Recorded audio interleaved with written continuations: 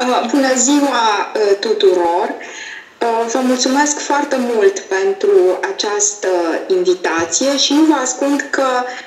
sunt emoționată pentru că de-a lungul lungii mele, tot mai lungii mele prezențe în universitate, am vorbit a rare ori despre scriitori, despre scriitorii români, chiar dacă foarte adesea activitatea acestora uh, a cuprins o secțiune mai firavă sau una mai consistentă uh, dedicată uh, literaturii populare. Înainte de a face această uh, prezentare, vreau să spun totuși că două lucruri mă leagă foarte strâns, uh, nu doar de cercetările asupra operei uh, eminesciene, ci în primul rând de relațiile cu Universitatea din Cluj și Eminescu, respectiv uh, memorialul uh, Ipotești. Este vorba, în primul rând, despre Uh, cursul uh, principal de mari clasici ai literaturii române pe care l-am uh, urmat la Universitatea din Timișoara, nu cel despre care v-a povestit aici, doamna profesoară Ioana Bican, cel cu doamna profesor Gheorghe Tohăneanu, ci un curs pe care îl ținea încă în anii 80 domnul profesor Eugen Todoran. Or, domnul profesor Eugen Todoran a venit uh, la Timișoara în 1956, uh, format fiind în interiorul școlii clujene, chiar dacă făcuse studiile în intervalul uh, anilor uh, celui de-al doilea război mondial uh, la Sibiu. Ei bine, cursul uh, ținut avea un seminariu uh, dedicat Uh, fiecare dintre orele de seminar uh, a fost dedicată unei cărți socotite uh, foarte importante despre opera lui Mihai Eminescu, un seminar care a început cu Titu Maiorescu și s-a încheiat cu Ioana M. Petrescu. E extrem de important acest lucru ca model pentru mine, pentru că mă gândesc mereu câți dintre alți profesori ai noștri și câți dintre noi acceptăm că uh, un domeniu de studiu nu se sfârșește cu generația noastră, continuă cu generațiile următoare și se dezvoltă în continuare. În altă ordine de idei, uh, relațiile mele cu uh, literatura uh, și cu studiile literare au fost uh, puternic afectate în aceiași ani 1980, uh, când am făcut prima dată cercetare de teren în Bucovina. De aceea am o empatie aparte, inclusiv față de instituția pe care o coordonează acum uh, Ala Sainenco. Atunci, interacțiunea cu oamenii din teren m-a făcut să am o adică a produs o schimbare extrem de importantă în maniera mea de a înțelege lucrurile uh, învățate în Facultatea de Filologie în anii 1980. Datorez enorm de mult acestor cercetări de teren și, de asemenea, principalilor uh, uh, uh, cercetători care au uh, format școala etnografică în uh, România. Mai mult decât atât, prezentarea pe care eu o fac, uh, vă propun astăzi, este una care stă în relație, în primul rând, cu uh, lucrările câtorva folcloriști importanți pe care o să-i citesc pe fiecare la timpul său. Încerc să fac acum uh, Uh, prezentarea ecranului. Sper că o vedeți, da? Bun. Vorbesc așadar pentru dumneavoastră uh, cu această precizare care este în același timp uh, o precauție. Nu sunt specialistă în studii asupra operei lui uh, Mihai Eminescu, iar uh, uh, discuția pe care vreau să o fac este una care pornește dinspre uh, cunoștințele de etnografie și de studii asupra folclorului, uh, de studii asupra istoriei folcloristicii uh, române pe care le-am urmărit cu atenție în ultima perioadă. Voi începe prin a sublinia faptul că această istorie a etnografiei române, iată, care are o voce oficială în acest dicționar al etnologilor români, care are trei uh, ediții succesive. Uh, coperta pe care o vedeți este uh, în uh, nota de la subsol, este o publicație care a apărut în uh, anul 2006 și care include între așa zi și etnologi români, inclusiv pe Mihai Eminescu, căruia îi dedică două pagini între 361 și 363,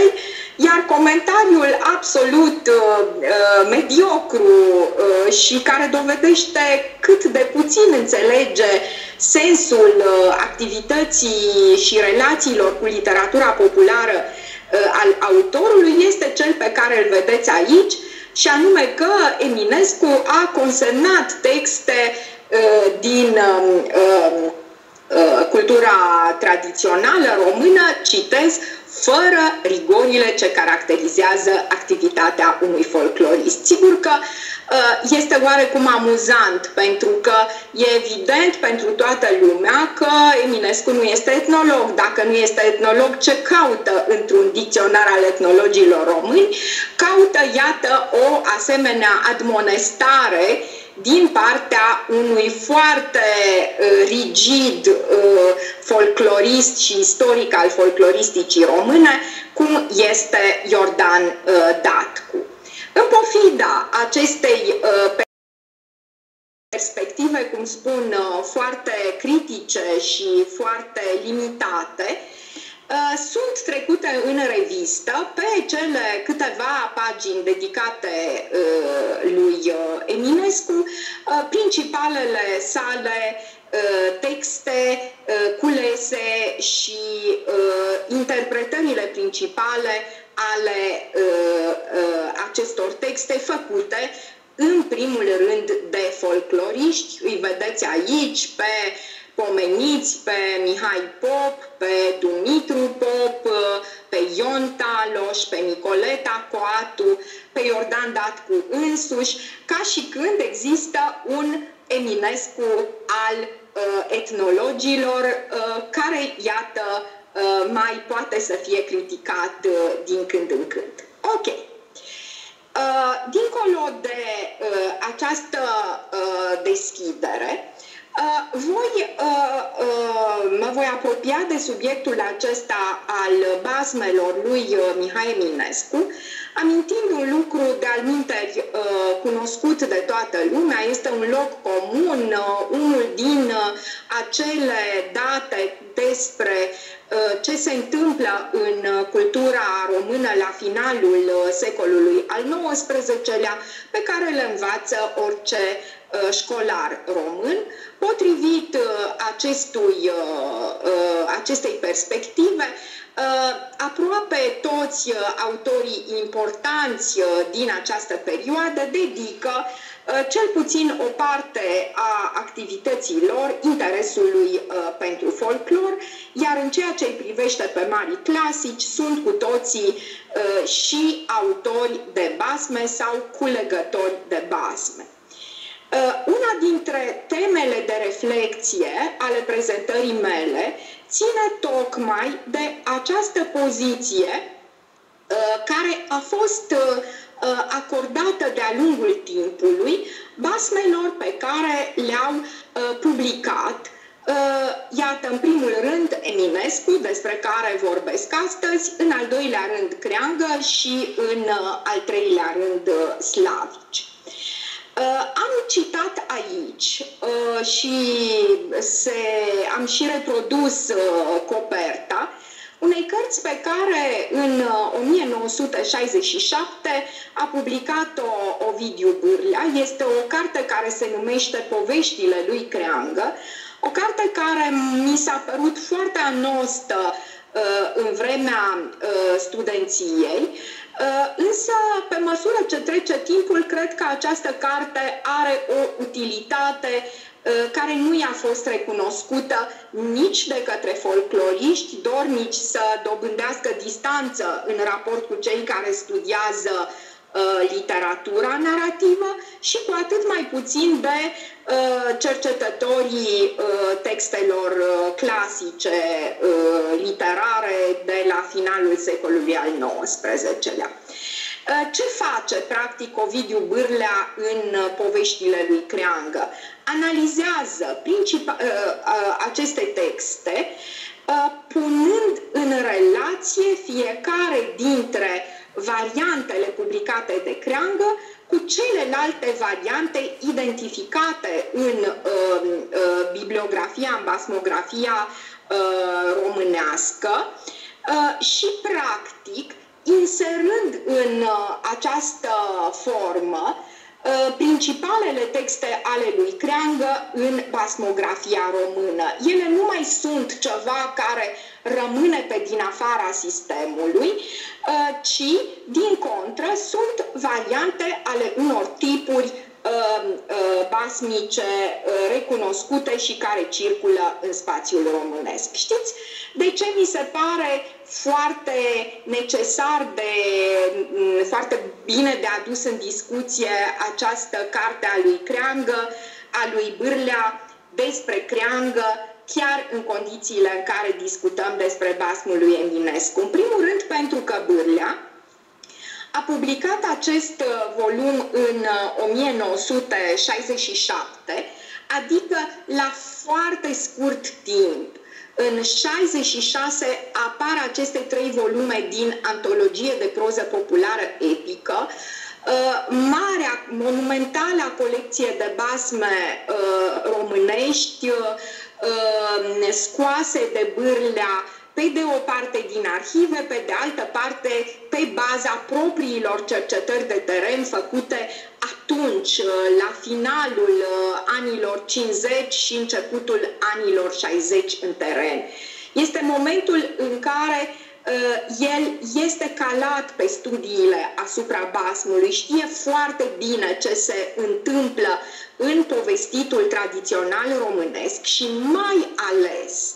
mai ales știe bine că uh, genul basmic la români nu poate să fie restrâns la un singur model care devenise modelul instituțional al basmului românesc și anume modelul pe care l-a impus uh, în anii 1870-1880 colecția lui Petre Ispirescu. De aceea mi se pare că uh, e foarte util să discutăm astăzi. Iată, noi vom face o discuție despre basmele lui Eminescu, dar ar fi util să discutăm și despre basmele lui Creangă în aceeași termeni, readucând în discuție această veche și pe nedrept trecută într-un cont de umbră, cartea lui Bârlea, pentru că Uh, uh, este vorba uh, de posibilitatea de a relua în discuție ce înseamnă basmul tradițional român și ce înseamnă care sunt inovațiile reale sau uh, uh, supradimensionate uh, ale basmelor acestor uh, autori. Ei bine, Eminescu, uh, așa cum uh, spunea înainte doamna profesoară Bot, uh, are un interes aparte pentru literatura populară și el a fost subliniat rând pe rând de o serie de cercetători care au și alcătuit principalele ediții ale literaturii populare a poetului. În 1902 avem o primă ediție prefațată de Candy, avem o altă ediție a lui Murărașu și avem importanta, decisivă variantă pe care o oferă Perpesicius. Sunt câteva domenii în care se identifică în manuscrisele poetului, în arhivele acestuia, texte folclorice și poate fi listat interesul său pentru folclor. În primul rând, cum este și firesc în ceea ce privește lirica. În al doilea rând sunt câteva balade pe care cercetătorii le regăsesc între manuscrisele sale sunt uh, uh, texte diverse, proverbe, expresii, uh, stereotipe uh, și așa mai departe. Sunt basmele, desigur, și despre ele va fi vorba aici. Și avem o ultimă categorie, uh, așa numitele irmoase, cântece de lume. Sunt cântece, sunt texte Uh, la uh, limita uh, literaturii, la limita literaturii licențioase, interesante tocmai din cauza că ele vorbesc despre o anumită percepere globală a culturii populare la finalul secolului al XIX-lea. Aș face o Uh, punere în relație și cu opera lui Creangă Bunăoară, care pe lângă uh, textele, uh, pe lângă, scuze, scuze, o secundă îmi cer scuze.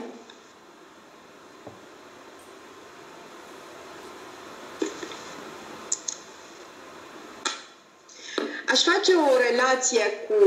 uh, opera lui uh, Creangă, care pe lângă basmele uh, care au făcut carieră, au devenit canonice, au fost uh, citate inclusiv în uh, condiții școlare în finalul secolului XIX și apoi pe tot parcursul secolului al XX-lea, are și câteva asemenea basme care a căror prezentare a ridicat uh, adesea probleme. Sunt texte corozive, ni se spune uh, în uh, unele interpretări. Um, e de fapt vorba despre faptul că pe parcursul secolului al XX-lea, în primul rând, um, literatura română a încercat să se țină Uh, la distanță de această categorie de texte și, în primul rând, de această categorie de texte folclorice. Nu? Până uh, în ultimii ani, discuțiile asupra acestui uh, repertoriu au fost uh, mai mult decât, uh, decât uh, superficiale. Enfin, sunt câteva uh, basme și uh, mă distrează să comentez uh, listele pe care uh, autorii le-au propus uh, pentru a vorbi despre basmele care țin de literatura populară ale lui uh, Eminescu. Da? Sigur, în principal sunt aceste cinci basme, Căline Bunu, Frumoasa Lumii, Borta Vântului, Finul lui Dumnezeu și Vasilie, uh, uh, Finul lui Dumnezeu. Avem o listă, avem câteva texte care lipsesc și pentru că uh, acele texte lipsesc, se și ridică o uh, temă de reflexie asupra căreia voi reveni uh, ceva mai uh, târziu. Aceste cinci texte uh, uh, sunt uh, uh, texte pe care uh, cercetătorii uh, folcloriștii români uh, le-au identificat uh, în relație cu o uh, serie întreagă de alte variante. Uh, și eu citez aici, în coloana dreaptă a prezentării mele, uh, felul în care uh, sunt inserate uh, aceste basme considerate preluate direct, uh, uh, înregistrate din teren de Eminescu. În antologia de basme populare românești, în două volume, ediția Iordan Datcu, publicată în anul 2008. Da? Îl avem pe avem fiecare dintre, text, dintre texte integrat unui anumit unui, unui anumit tip voinicul fără tată în relație cu Ispirescu, Ștefan Cacoveanu, Ion Micu Moldovan și Mihail Robea, Călin Nebunu, Uh, tipul uh, balaurul uh, cu cel cu șapte capete în relație cu Ispirescu, Stăncescu și Sabina Ispas, frumoasa lumii în tipul cei trei frați împărați, variante în relație cu Ispirescu și Bârlea, Borta vântului, tipul împăratul șerpilor, în relație cu Ispirescu și uh, Ștefan Cacoveanu, Uh, respectiv Finul lui Dumnezeu, în relație cu Ioviță Făt Frumos, în relație cu variantele uh, Ispirescu, Ion Popreteganu și uh, Otilia Heteșan, o publicație tot din anul uh, 2008. Uh, uh, ce remarc din nou la același Iordan Datcu este faptul, iată că el persistă să vadă în aceste basme uh, uh,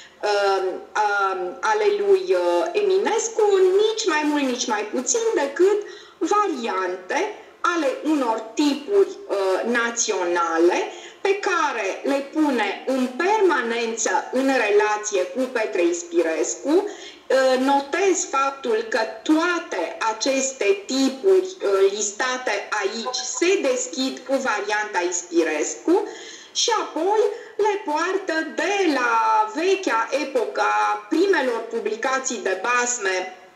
din, uh, uh, din uh, anii mijlocului de secol uh, al XIX-lea până la începutul secolului 20. Deci există o asemenea percepție pentru care basmul este uh, provenind de la Eminescu sau de la Ispirescu sau de la Ștefan Cacoveanu, uh, ca să nu spun din secolul 20, de la Bârlea sau de la mine, care practic nu facem altceva decât să pornim reportofonul, magnetofonul și să preluăm variante ale unor uh, povestitori, o realitate uh, uh, ale cărei variante sunt exclusiv Uh, de editare, sunt variante în, în spațiu, poziționate în spațiu și în niciun caz variante determinate de timp. Pe lângă aceste uh, texte, însă, chiar în uh, același, în mod sincron cu uh, evaluarea pe care o face uh, Murărașu, avem și alte câteva texte, dintre care, desigur, cel mai cunoscut este basmul uh, Făt frumos uh, din lacrimă, dar și un text care se numește chiar basmul lui Arghir, Fata în grădina de aur, uh, iarăși un text care care nu poate fi pierdut din vedere pentru că întreaga discuție despre uh, Uh, originile luceafărului este pusă în relație cu acest uh, text al lui Cuniș. Caracostea subliniază uh, această, această relație și traduce textele lui Cuniș, precum și Miron și Frumoasa fără corp. Cel mai interesant însă dintre toate aceste cazuri uh, uh, prezentate mai sus este chiar cazul uh, basmului Făt frumos din lacrimă, un bas publicat în 1862 uh, și am notat anul pentru că uh, e un an foarte important pentru istoria basmului uh, românesc în general. De ce? În 1872 apare prima ediție a basmelor, uh, a colecției de basme ale lui uh, Petre Ispirescu. Este drept că nu este ediția uh, augmentată, ediția definitivă apare 10 ani mai târziu, însă Făt frumos din lacrimă vine sincron cu această colecție care încet, încet prinde Uh, o, uh, capătă o importanță aparte pentru cultura română, dar face ceva mult mai important și anume devine modelul genului basmic. Da? În vreme ce uh, Eminescu publică basme care sună într-un fel și arată într-un fel, Creangă va veni și el cu textele sale de basm care au o anumită formă, Slavici vine și el cu textele care au o anumită formă, basmele lui Ispirescu se impun în aceleași decenii ca basme care sunt folclorice, în pofida faptului că Ehm, ehm, vorbim și în aceste condiții despre aceeași manieră de a reține câteva date, ehm, câteva formule pe care în cele din urmă transcriptorul care este culegătorul le pune în textul propriu-zis. Mi se mai pare extrem de important cazul lui Făt frumos din lacrimă și pentru că în basmele române, în comparațiune cu legendele antice, clasice și în legătură cu basmele popoarelor învecinate și ale tuturor popoarelor uh, uh, romanice, a lui uh, Lazar Șeineanu, un text uh, de la finalul secolului al XIX-lea, Făt frumos din lacrimă uh, a lui Eminescu este luat în calcul ca un tip de basm popular Lazar Șăineanu îl include în categoria celor doi frați de cruce, alături de variantele lui Petre Ispirescu, Ion Popreteganu, Grigore Sima, Pitiș, Obert, Sghiera și Șot. Uh, uh, și uh, pentru cine cunoaște cât de cât uh, relația uh, dintre sau situația acestor autori, veți înțelege că uh, Uh, uh, de fapt, uh, Lazar Șeineanu așează pe o hartă aceste variante. Ispirescu este uh, regățean, Ion Pop Reteganu ardelean, uh, Sbiera este bucovinean, Șot este, este mă rog, Șot culege basmele uh, din, uh, din Banat. Făt frumos din lacrimă este prezentat drept varianta moldoveană a uh, acestui uh, basm al celor doi frați de cruce. Ce mi indică mie această punere în relație a basmului uh, lui Eminescu cu celelalte tipuri îmi indică faptul că în momentul în care Lazar Șăineanu face Uh, această clasificare a basmelor române în tipuri, uh, le pune în relație cu um, basmele uh, străine, genul oficial pe care îl construiește Petre Ispirescu nu este încă unicul tip de basm, iar discuțiile despre acest caracter de basm cult, de basm de factură autorială, nu privesc deocamdată uh, pe făt frumos din lacrimă. Acum, am uh, ales câteva foarte puține exemple. Uh, m-am gândit uh, tot timpul uh, în vreme ce îmi pregăteam această prezentare cât de mult uh, ar fi insistat uh, uh, Ioana Bot asupra cazurilor, cu câtă pasiune ar fi comparat texte, dar am decis să rămân la poziția pe care am ales-o, aceea de a vorbi ca un folclorist, este, dacă vreți, această prezentare un omagiu pentru Ovidiu Bârlea, în primul rând, și încerc să mă străduiesc să rămân în uh, această linie. Iată cum începe Făt frumos din lacrimă. în vremea veche, pe când oamenii, cum sunt ei azi, nu erau decât în germenii viitorului, pe când Dumnezeu călca încă cu picioarele sale sfinte pietroasele pustii ale pământului, în vremea veche trăia un împărat întunecat și gânditor ca miază noaptea și avea o împărăteasă tânără și zâmbitoare ca miezul luminos al zilei. Dincolo de formulele stereotipe cu care uh, ne învață uh, basmografia noastră de la uh, uh de la uh, Petre Ispirescu citire și căreia încet, încet îi se raliază toți culegătorii de basme, textul acesta începe într-o manieră diferită. Uh, Aș mai alege, am mai ales un singur pasaj, chiar dacă am două, peste unul voi trece. Acesta îmi folosește foarte mult pentru că mi-atrage atenția asupra faptului că uh, uh, textul propriu zis, carnația efectivă a poveștii, este foarte diferită în uh, Făt frumos din lacrimă în raport cu ceea ce reprezintă generic uh, basmul românesc, așa cum a fost el construit de uh, Petre Ispirescu. Iată, Făt frumos o spătă ce o spătă, dar apoi, luându-și buzduganul de umăr, merse mereu pe dâra trasă de piuă, până ce ajunse lângă o casă frumoasă, albă, care sticlea la lumina lunii în mijlocul unei grădini de flori. Florile erau în straturi verzi și luminau albastre, roșie închise și albe, iar printre ele roiau fluturi ușori ca sclipitoare stele de aur.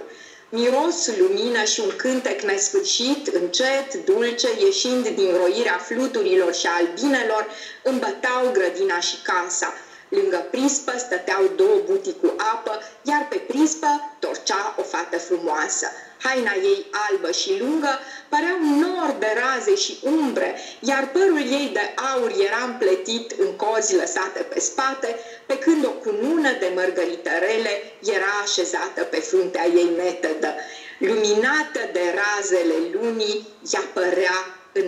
înmuiată într-un aer de aur. Uh,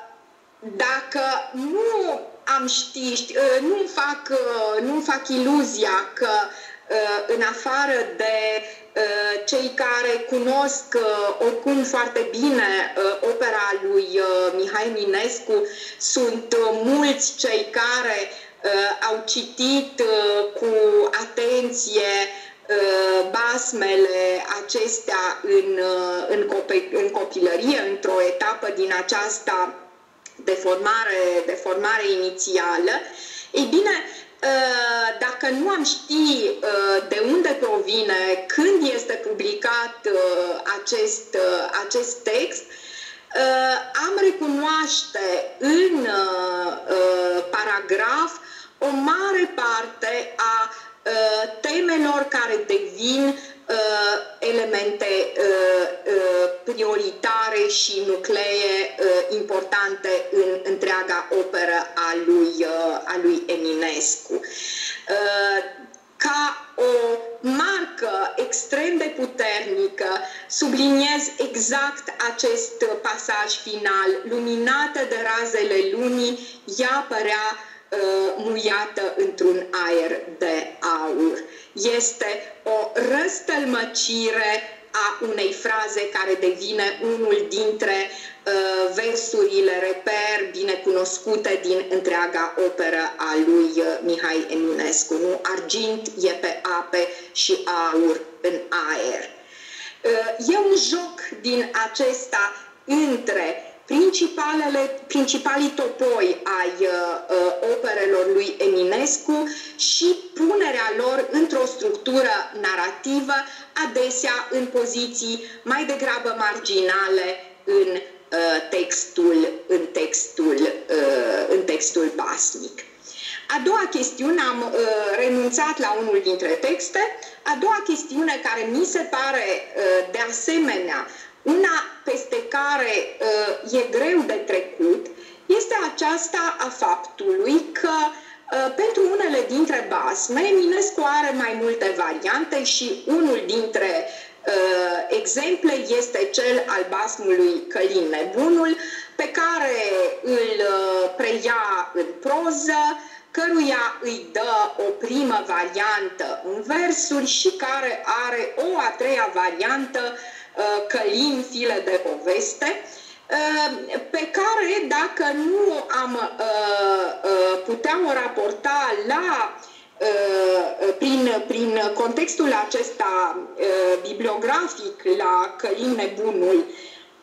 în proză, respectiv în versuri, am recunoaște sau am restituit doar pasaje, doar noduri semantice extrem de importante din basm în cadrul, în cadrul său. Ei bine, am selectat pentru a vedea cum se petrec lucrurile în opera lui, în, în această transcriere a textului, pasajul din uh, uh, debutul uh, basmului în proză și pasajul din debutul lui Călin Nebunu în versuri. Era odată un împărat ce avea trei fete și erau așa de frumoase, de la soare te puteai uita, dar la dânsele ba. Veți spune, seamănă foarte mult cu ceea ce știm noi că este basmul tradițional și eu v-aș întreba, dar de unde știm noi acest lucru? Noi știm acest lucru din colecția de basme a lui uh, uh, Petre Ispirescu, fiindcă așa ni s-a spus la școală că uh, sună basmul popular. Acum cele două erau cum erau, dar cea mișlocie nici se mai povestește frumusețea ei. Acum câți feciori de împărați și de ghinerari au cerut-o, împă- uh, împăratul n-a vrut să le odeie. Acum, într-o seară, au venit trei tineri și le-au cerut, dar el n-a vrut să le dea. Acum ei au ieșit afară și unul dintre ei și-a prins a fluiera cât s-a făcut un nor mare și nu s-a mai văzut nici ei, nici fetele. Le-a răpit. Acum împăratul a scos veste în țară că cine a găsit fetele le dă de nevastă. Acum satul cel a împăratului era un om și avea trei flăcăi și așa mai departe. Uh, uh, ați remarcat această succesiune de acum Uh,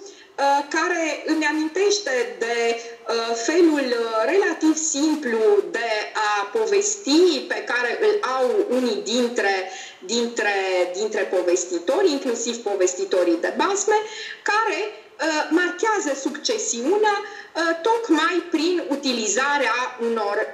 asemenea conectori. Acum, apoi și după sunt principalele Um, uh, maniere de a um, sublinia uh, succesiunea uh, principalelor momente ale unei acțiuni, căci în basmul clasic lucrurile urmează unul după celălalt și nu în același timp. Este una dintre um, structurile de adâncime ale basmului care este întotdeauna uh,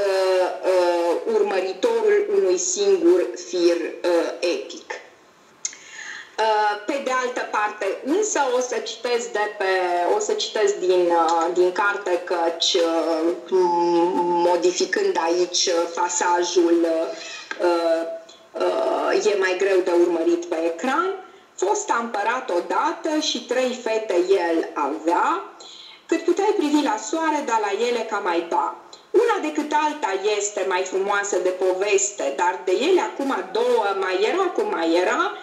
ă, nu că doar ai putea spune cum că a fost așa și așa, nici o vorbă de poveste, cer cu stele presărat, nu ajung la frumusețea astor fete de împărat. Dar, deși nu-ți poți da vorba despre ele cu cuvântul, Mintea tot le atinge umbra, ochii lor îi ajunge gândul, dar de cea mai mișlocie nici un gând să nu măsoare, e o floare de pe, moa- de pe mare, cine-i cată în față moare. Mulți feciori de împărați, de războinici lăudați le-au cerut ca să le odeie, ca cu chipul de femeie să împodoabe cu icoană viața lor cea năzdrăvană, dar împăratul nici gândește să le dea așa comoară, ale casei lui mai mândre și mai trainice o doară. Vedeți că textul basmului în versuri nu se îndepărtează foarte tare de textul acestui basm, acestui basm cules, ba chiar dacă ne gândim la exemplele selectate, chiar cel de debut, de asemenea de debut din Făt frumos din, din lacrimă, am putea spune că rămâne relativ aproape de structura basmului cules, ceea ce desigur nu se mai petrece în uh, Călin uh, File de Poveste, care debutează cu celebrul uh, Gazel, nu? unul dintre uh, uh, începuturile uh, poemului este acesta, iar după aceea cu o asemenea perspectivă uh, romantică, uh, un cadru natural în care se vor desfășura uh, întâmplările în Călin File de Poveste. Bref, pasmele lui Eminescu ridică, iată, câteva întrebări iar aceste întrebări sunt întrebări care țin chiar de maniera în care putem defini basmul. Avem basme preluate sau culese sau auzite. Cele uh, trei uh, expresii nu îmi, uh, îmi aparțin, am uh, selectat eu însă variantele pe care editorii lui uh, Eminescu a secțiunii de literatură populară din opera sa le folosesc. Avem basme prelucrate, ceea ce mi se pare iarăși un cuvânt uh, care uh, cumva, uh, cumva este forțat, în sensul în care, din experiența pe care ne oferă antologia de basme populare a lui Bârlea, de asemenea, din experiența de culegătoare de basme pe care o am, Uh, cuvântul prelucrat este un cuvânt care poate să fie util pentru Eminescu în sensul în care există o tendință ca, în primul rând, uh, uh, Făt frumos din lacrimă să fie considerat o operă cultă, da? o, o creație de tip uh, autorial, însă, de fapt, uh, Făt frumos din lacrimă Uh, ca și Călin Nebunu, practic, cum bine spunea doamna profesoară Bot, uh, sunt texte care rămân și pot intra în uh, proza eminesciană, sunt texte care marșează pe un alt tip de a povesti narațiunea decât populară, decât o fac cele mai multe basme, basmele canonice, să spunem, Uh, din, uh, uh, din cultura noastră tradițională. Aș aduce în discuție în acest sens tipologia informatorilor de folclor pe care o propune Sanda Golopenția în Intermemoria și aș sublinia faptul că există o categorie a povestitorilor și a informatorilor în general care sunt creatori, care întind limitele speciei și nu doar uh, autori care au pus în text scris, vezi exemplul Eminescu, vezi exemplul Creangă, sunt uh, în această situație, ci, așa cum subliniază foarte clar uh, antologia Bârlea, cel puțin în această parte bucovineană a uh, uh, spațiului românesc uh, sunt uh, identificabili până la mijlocul secolului trecut povestitori ale căror basme sunt uh, broderii mult mai complicate uh, în jurul tramei tradiționale. În sfârșit, o altă chestiune care a ridicat probleme este aceea a basmelor versificate, opinia generală la noi fiind aceea că basmul, nu așa, este o narațiune în proză. Basmele lui Eminescu uh, sunt, uh, uh, pe de altă parte, caracterizată de faptul că toate au mișcări narrative numeroase, deci intră în categoria basmelor nuvelistice, nu sunt basme scurte care să înceapă repede, să apară o frustrare, o lipsă care să fie rezolvată foarte rapid. Sunt texte care insistă pe portretul personajelor, pe descrierea locurilor, pe caracterizarea acțiunilor în condițiile în care canonul basmului pe care, cum spun, îl reprezintă la noi Petre Ispirescu, nu marșează pe așa ceva, respectiv sunt texte care formulează mesaje suplimentare în raport cu informația narrativă. Aveți tot dreptul să vă îndoiți de interpretarea pe care o fac și anume că aceste texte nu țin doar de o intuiție aparte a autorului respectiv a lui Eminescu și a lui Creangă, care din punctul meu de vedere se află în aceeași situație, ci pur și simplu că ele sunt basme de autor. Doar că aș vrea să aduc în discuție faptul că după anii 1970, da? deci în momentul când în folcloristica română începe să se discute mai în detaliu despre basm și despre mai multe colecții de basme, dobândește o valoare de asemenea aproape de canon, greu de, greu de distrus, un text cu caracter teoretic al lui, al lui Prop, care este morfologia basmului. Or, morfologia basmului subliniază, în primul rând, ideea că într-un basm este important invariantul și sunt nesemnificative variabilele. Invariantul este Uh,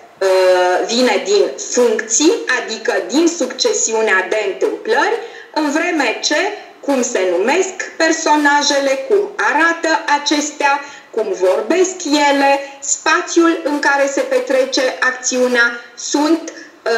uh, sunt elemente suplimentare și nesemnificative. Uh, temele de reflexie uh, pe care mie mi le Uh, ridică uh, textele uh, de basm enunțate, citate aici, ale lui Eminescu, țin de relația dintre formă și conținut în definirea basmului, respectiv despre faptul că discuția despre basmele lui Eminescu uh, uh, și în primul rând despre acest uh, buclucaș făt frumos din lacrimă, înghițit de Șăineanu ca un text popular fără niciun fel de reținere, trebuie să resusciteze discuțiile despre uh, definirea canonului, uh, respectiv despre definirea cadrului generic al basmului în cultura uh, română. Cam acestea sunt uh, lucrurile asupra cărora uh, am uh, dorit să intervin aici și cred că am reușit să îmi închid uh, prezentarea și să revin uh, în Skype uh, cu scuzele de rigoare pentru telefonul primit, care venea tot de la un folclorist. Căci voi folcloriștii mai mult pe telefoane. Folcloristul este Ion Viorel Boldureanu. Dumnealui este oral în permanență. Ca poporul român. Uh, însuși. Mulțumim, doamna profesoară, pentru această prezentare extrem de substanțială și care cred că ne-a dat uh, multora uh, materie de, de gândire.